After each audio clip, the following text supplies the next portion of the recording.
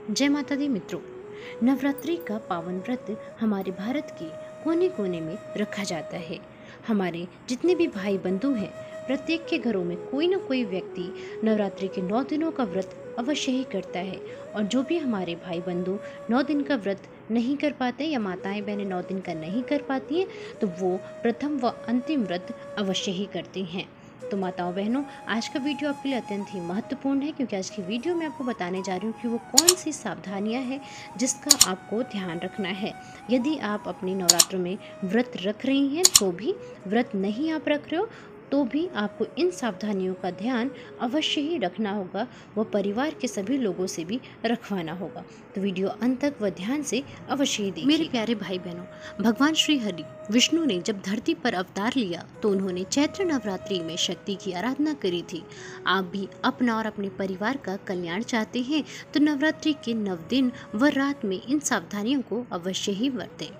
दोस्तों, नवरात्रि के दिनों में माँ आदि शक्ति के समस्त रूपों का पूजन किया जाता है। प्रत्येक दिन माँ के रूप की पूजा करने का विधान है, जो कि अलग अलग दिन हम अलग अलग माता रानी की पूजा व आराधना अपने घरों में करते हैं। जी हाँ दोस्तों, इन नौ दिनों में पवित्रता और शुद्धता का विशेष ध्यान रखा जाता है। जी हाँ प्यारे मित्रों, जो भी भाई बंधु शुद्धता व पवित्रता के साथ इन नौ दिनों में माता रानी की सच्चे दिल से आराधना करते हैं, उनकी समस्त मनोकामनाएँ पूर्ण होती हैं। अपवित्रता से रोग और शोक उत्पन्न होते हैं। जिस घर में माँ आदि शक्ति का स्वरूप विराजित हो, वहाँ नकारात्मक तत्व कमज़ोर पड़ते हैं। वे नकारात्मकता को सकारात्मकता में परिवर्तित करती हैं। जी हाँ दोस्तों, कठिनाई को भी उनके समक्ष खड़े होने में कठिनता अनुभव होती है। तो अब हम आगे बात करने वाले हैं कि वो कौन से कार्य हैं जो आपको करने हैं। सबसे पहले हम बात कर लेते हैं नवरात्रों में। वो कार्य जो आपको अवश्य ही करने हैं। इसके बाद हम बात करेंगे वो कौन से कार्य हैं जो आपको बिल्कुल भी नहीं करने हैं। जी हाँ मित्रों, नवरात्रों के नौ दिनों में आप व्रत करते हैं तो भी और व्रत नहीं करते हैं तो भी। सुबह और शाम माँ के मंदिर में जाएँ व दीपक प्रज्वलित करें। यदि आपने घर में मंदिर बना रखा है तो वहाँ पर भी सुबह व शाम दीपक जलाना बिल्कुल भी ना भूलें। संभव हो तो वहीं बैठकर माँ का पाठ करें, अन्यथा अपनी सुविधा अनुसार पाठ अवश्य ही करें। माँ को जल ज़रूर चढ़ाएँ। जी हाँ दोस्तों, नवरात्रि के नौ दिनों में सुबह सुबह एक लोटा कलश आपको जल वहाँ पर अवश्य ही माता रानी को अर्पित करना है। यदि आपने कलश की स्थापना कर रखी है तो अति उत्तम है। यदि आप कलश स्थापना नहीं करना चाहते हैं तो भी प्रतिदिन माता रानी को शुद्ध जल अवश्य ही अर्पित करें। संभव हो तो नंगे पैर रहें, अन्यथा चप्पल का प्रयोग कम से कम करें। यदि संभव हो सकता है तो वो नौ दिनों तक आपने कई लोगों को देखा होगा कि वो लोग अपने कार्यों पर भी नंगे पैर जाते हैं। कई लोग नौ दिनों में चप्पल नहीं पहनते हैं। तो यदि संभव हो सके तो आप ऐसा ना करें। साथ ही साथ यात्रा करने से बचें। जी हाँ दोस्तों नौ दिनों में कहीं यात्रा ना करें, क्योंकि हम अपनी माता रानी को नौ दिनों अपने घर में बुलाते हैं तो हमें आदरपूर्वक उनका सम्मान करना है, उनके साथ ही रहना है। अपने घरों में हमें ताला बिल्कुल भी नहीं लगाना है। शाम के समय भूलकर भी हमें घर का मंदिर खाली नहीं छोड़ना है।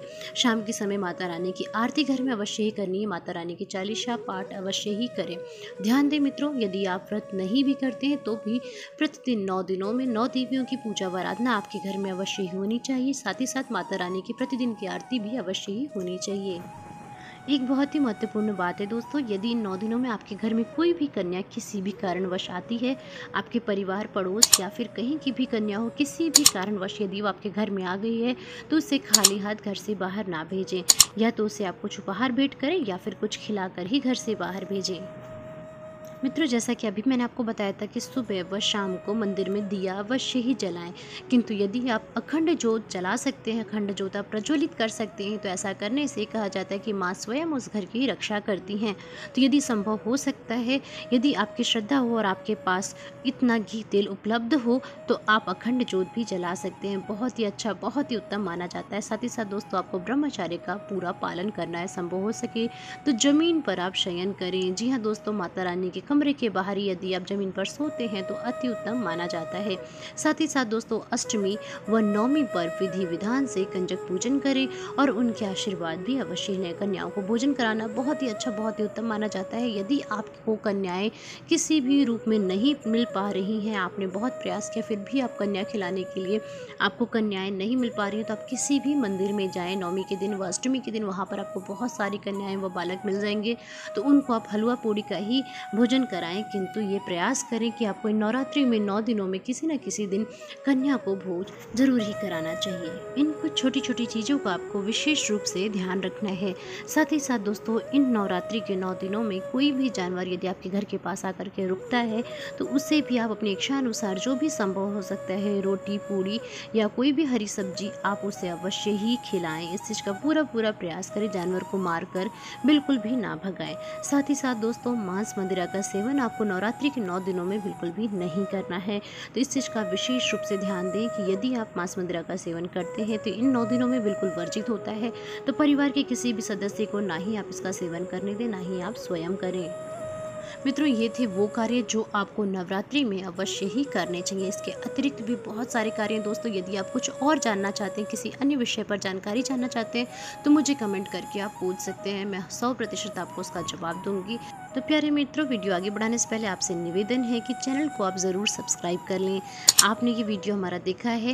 हो सकता है कि अगला वीडियो आप ना देख पाए। अगर आप चैनल को सब्सक्राइब कर लेते तो हमारा आपका रिश्ता यहीं से मज़बूत बन जाएगा और कोई भी वीडियो मैं वीपीटी भक्ति सागर पर अपलोड करूँगी तो वो आप तक स्वतः ही पहुँच जाएगा। इसके लिए चैनल को सब्सक्राइब कर लें और बेल आइकन को भी प्रेस करना बिल्कुल भी ना भूलें। और जानकारी पसंद आती है दोस्तों तो वीडियो को लाइक ज़रूर कर दें। आप लाइक करोगे तो मुझे पता चलेगा कि आपने वीडियो को पसंद किया है। वीडियो आपकी समझ में आया है। कमेंट बॉक्स में जय माता दी लिखना बिल्कुल भी मत भूलिएगा। चलिए दोस्तों, आपका बहुत सारा मैंने समय ले लिया, वीडियो आगे बढ़ाते हैं। अब हम बात करने जा रहे हैं कि नवरात्र में क्या आपको नहीं करना है? जी हाँ दोस्तों, छौक नहीं लगाना चाहिए। हमें अपने घरों में तड़का नहीं लगाना है। जैसे कि ऐसे ऐसे पकवान नहीं बनाने हैं, बहुत सारा प्याज लहसुन का तड़का नहीं मारना है। प्याज लहसुन का हमें प्रयोग संभवतः करना ही नहीं है।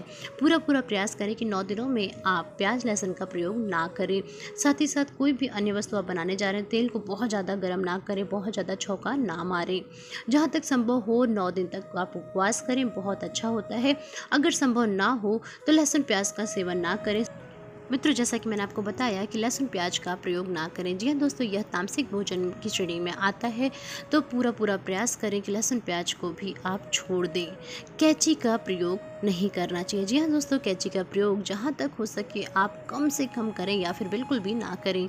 दाढ़ी के बाल नाखून व बाल हमें नौ दिनों तक नहीं कटवाना चाहिए। इन चीज़ों का भी आपको ध्यान रखना है। घर के बच्चों के भी आपको नाखून नहीं काटने हैं, बाल नहीं काटने हैं, बड़ों को भी अपनी दाढ़ी बाल नहीं बनाना है। पूरा पूरा प्रयास करें कि आप कपड़े की कटिंग भी ना करें। यदि आप सिलाई का कार्य करते हैं तो भी नौ दिनों में वो करने से बचें। या आप कपड़ों को पहले ही काट के रख लें, किंतु नौ दिनों में कुछ कुछ भी काट छाट ना करें। अब सबसे महत्वपूर्ण बात दोस्तों, कि नवरात्रि के नौ दिनों में आपको किसी की निंदा नहीं करनी, चुगली नहीं करनी है। जी हाँ दोस्तों, वैसे तो हमें ये आम दिनों में भी नहीं करना चाहिए, किंतु इन दिनों में आप विशेष रूप से ध्यान रखें, जब भी आप कोई भी व्रत उपवास करते हैं तो उसमें आपको निंदा नहीं करनी चाहिए। किसी की बुराई, किसी का बुरा नहीं करना चाहिए ऐसा करने से आपको व्रत का फल नहीं मिलता है। नवरात्रि के नौ दिनों में आपको माता रानी का गुणगान करते रहना है। चौबीस घंटे जब भी आप जगे रहते हैं, आपको माता रानी का स्मरण करते रहना है, माता रानी की जय करते रहना है और जय माता दी, जय माता दी पूरे दिन आपको बोलते रहना है। माँ के मंदिर में अन्न रहित भोजन, प्रसाद अर्पित करें। जी हाँ दोस्तों पूरा पूरा प्रयास करें कि जब आप मंदिर जाते हैं तो कुछ ना कुछ प्रसाद अवश्य ही चढ़ाएँ। वहाँ मंदिर में आए हुए लोगों को भी आप फलों का दान कर सकते हैं, फलों का प्रसाद भी आप अवश्य ही बांट सकते हैं। मित्रों, नवरात्रि के नौ दिनों में आप बाहर से खाना ना मंगवाएँ। यदि आपके घर में दो या तीन सदस्यों ने व्रत रखा हुआ है और एक से दो सदस्यों ने व्रत नहीं रखा हुआ है तो उन्हें आप इस चीज़ के लिए मना करें कि कुछ भी हो जाए, वो बाहर का खाना ना मंगवाएँ। यदि आपने नौ दिन का व्रत किया है और आपके घर में रहने वाला दूसरा व्यक्ति बाहर से मंगाया हुआ खाना खाता है, लहसुन, प्याज या तामसिक भोजन करता है तो इस प्रकार से आपका भोजन भी खंडित हो सकता है, क्योंकि पूजा में वो भी आपके साथ शामिल होता है। तो आपको पूरा पूरा प्रयास करना है कि घर में जितने भी व्यक्ति हैं, सभी शुद्ध शाकाहारी भोजन ही खाएँ। साथ ही साथ आपको छौक नहीं लगाना है इस चीज़ का भी आप ध्यान रखें। घर की जो हमारी कन्या है, आपके घरों में जितनी भी कन्याएँ हैं, इन नौ दिनों में उन्हें बिल्कुल भी मारे ना, पीटे ना। यदि वो कोई गलती भी करते हैं तो पूरा पूरा प्रयास करें कि उन्हें समझा करके ही आप बात ख़त्म कर दें। यदि आपने माता रानी का व्रत किया है तो आपको भूल से भी अपनी कन्या को नवरात्रि के नौ दिनों में नहीं मारना है। इस चीज़ का भी आपको ध्यान रखना है। बड़ों का हमें सम्मान करना है, जो कि बहुत ही अधिक महत्वपूर्ण है हमारे घर में। हमारी जो माँ है, उन्हें भी हमें माता रानी की श्रेणी में ही रखना है। उनका हमें सम्मान करना है, आदर करना है। किसी भी प्रकार से नौ दिनों में यदि आपने अपनी माता का, अपने घर के बड़े बुज़ुर्गों का अनादर किया तो आपको व्रत का फल नहीं मिलता है। पूजा करते वक्त माता रानी के नौ दिनों में आपको माता रानी को पुष्प अवश्य ही अर्पित करना है। जी हाँ दोस्तों, बिना फूलों के माता रानी की पूजा आप ना करें। पूरा पूरा प्रयास करें। आप माली से लेकर आए या फिर घर के आसपास से कहीं से ले लें।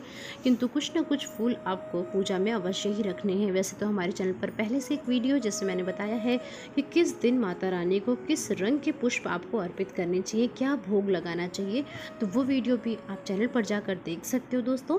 किंतु यदि आपको प्रतिदिन के हिसाब से फूल नहीं मिल पाते हैं, पुष्प नहीं मिल पाते हैं तो जो भी सुविधा हो सके, वो पुष्प आप माता रानी को अवश्य ही अर्पित करें। किंतु बिना पुष्प के पूजन ना करें। मित्रों, कोई भी अगर आपके दरवाजे पर भिक्षा मांगने आता है तो उसे डांट कर ना भगाएँ। जी हाँ दोस्तों, किसी भी उम्र का व्यक्ति हो, महिला हो, पुरुष हो, कोई भी हो, यदि आपके दरवाजे पर नवरात्रि के नौ दिनों में वो भिक्षा मांगने आता है तो अपनी इच्छा अनुसार जो भी आपके पास उपलब्ध हो, जितनी भी आपके पास सक्षमता हो, उतना ही उसे दें, किंतु उसे डांट कर या मार कर वहाँ से ना भगाएँ। आप उसे खाना खिला सकते हैं, आप उसे कुछ दान कर सकते हैं, किंतु ध्यान दें कि उसे आपको डांट कर मार कर नहीं भगाना है। मित्रों, कई बार क्या होता है कि हम लोग मंदिरों में अच्छा अच्छा दान कर देते हैं। हम उन पंडितों को दान कर देते हैं जो कि सक्षम है, जिनके पास सारी सुविधाएँ होती हैं। किंतु जिसे वास्तव में आवश्यकता होती है, जो हमारे घर पर हमसे भिक्षा मांगने आता है, उसे हम भगा देते हैं और उसके साथ बुरा व्यवहार करते हैं। तो इस चीज़ का आपको ध्यान देना है कि इस प्रकार का कार्य आपको नहीं करना है। तो मित्रों, यदि आपको सच में लगता है कि आपके दरवाजे पे आए हुए व्यक्ति को आपकी मदद की आवश्यकता है तो जो भी हो सकता है आप अपनी इच्छा अनुसार अपनी क्षमता अनुसार उसकी मदद अवश्य ही करें। तो मित्रों, आज के वीडियो में इतना ही। यदि जानकारी पसंद आई हो तो वीडियो को लाइक ज़रूर कर दीजिएगा। इसके अतिरिक्त आप कोई भी जानकारी चाहते हैं तो मुझे कमेंट करके ज़रूर बताइएगा। तो आज का वीडियो अंत तक देखने आप लोगों का बहुत बहुत धन्यवाद। बहुत जल्द मिलते हैं माता रानी के नए वीडियो में कुछ नई जानकारियों के साथ। तो आपका दिन शुभ और मंगलमय हो। नवरात्रि के आप सभी को हार्दिक हार्दिक शुभकामनाएँ। जय माता रानी।